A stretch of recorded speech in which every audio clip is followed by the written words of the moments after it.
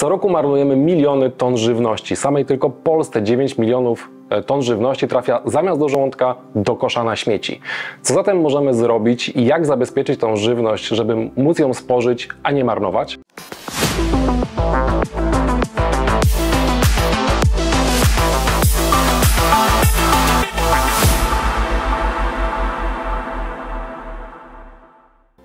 W dzisiejszym odcinku porozmawiamy o tym, jak zabezpieczyć żywność przed zmarnowaniem i o tym, jak rozróżnić dwa bardzo ważne pojęcia, które na każdym opakowaniu produktu spożywczego znajdziecie.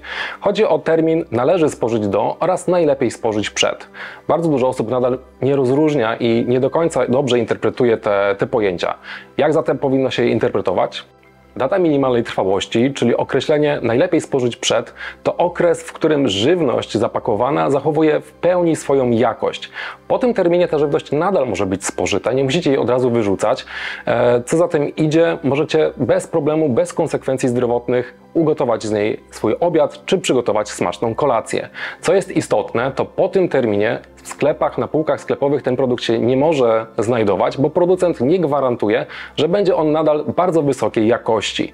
Prawda jest taka, że bardzo długo możemy takie rzeczy przechowywać. Na przykład ryż po terminie przydatności, nawet kilkanaście lat dobrze przechowywany, może być e, nadal zdatny do spożycia. Zupełnie inaczej musimy traktować jednak produkty oznaczone należy spożyć do. Jest to czas, w którym ten produkt jest bezpieczny po terminie przydatności, natomiast może stwarzać pewne zagrożenia, chociażby zagrożenie mikrobiologiczne, powodując, powodować może zatrucia pokarmowe czy inne e, dolegliwości i po tym terminie takich produktów spożywać nie można. Jest to na przykład mięso czy inne produkty, które bardzo szybko się psują. Żeby nie marnować żywności, możecie kilka zasad wdrożyć w swoim życiu. Produkty oznaczone należy spożyć do, możecie przetworzyć lub chociażby zamrozić. Z mięsa możecie zrobić pieczeń czy jakieś inne wyroby garmażeryjne, chociażby do wykorzystania na kanapki. E, możecie również z warzyw, które też zaczynają się psuć i widać, że już mają pewne oznaki starzenia, możecie zrobić kompot, marmoladę czy wykorzystać na placek. Pamiętajcie, żeby robić listę zakupów. Bardzo dużo osób idzie i impulsywnie kupuje pewne produkty spożywcze. Na przykład kupię sałatę, chociaż i tak mam w domu, ale zawsze się zje. No właśnie nie. Tej sałaty się nie zje.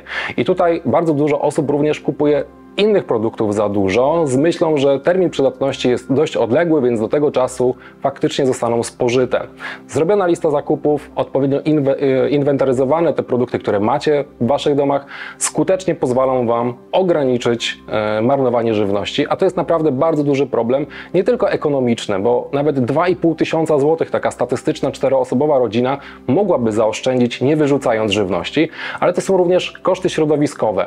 Na przykład wyrzucenie jednego kg kg wołowiny to jest aż 6 tysięcy zmarnowanych litrów wody. Planujcie swoje zakupy, planujcie swoje posiłki i korzystajcie z tego, co faktycznie potrzebujecie, a jeżeli macie produkty, które gdzieś Wam zalegają lub wiecie, że ich nie, spożycie, nie spożyjecie, możecie zawsze je oddać. Są pewne organizacje, które bez problemu takie produkty przyjmą. Zatem każdy z nas może się przyczynić do ograniczania marnowania żywności, a co za tym idzie zwiększenia dostępności żywności dla innych. To tyle na dzisiaj. Subskrybuj mój kanał i do zobaczenia w kolejnym odcinku.